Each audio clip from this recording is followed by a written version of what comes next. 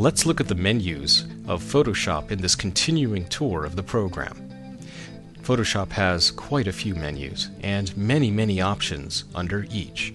If I were to go through each of these options in order, it wouldn't really make for a very nice flow in terms of an instructional video.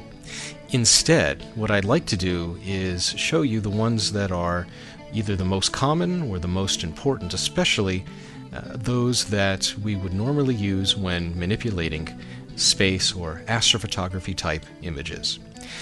Alright, so let's say we're happy with that. Now what do you do? Let's say we've done all of the changes on all of the layers that we might have open. Now we're ready to commit to what we see on the screen.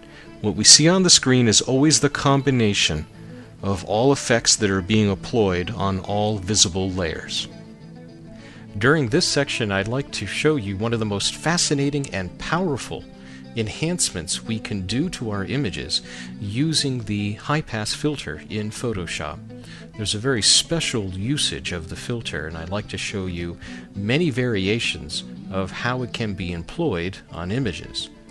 I'm going to brighten up just a little bit more using curves, just to make it look good. And we'll even take out a little bit of the sky here, just to increase the contrast a little bit. And there we are. This would be, it's actually a crop of a much larger frame, uh, but shows the Rosette Nebula. Let's look at the histogram and what I'm going to do with the histogram by looking at all of the channels. I know that was off screen, but you, there's an option there for displaying all the channels.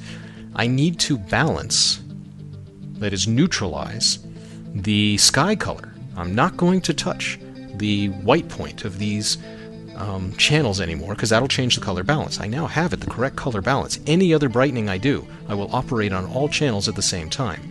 But I can align the black levels in each of these channels to neutralize the sky color. So let's do that.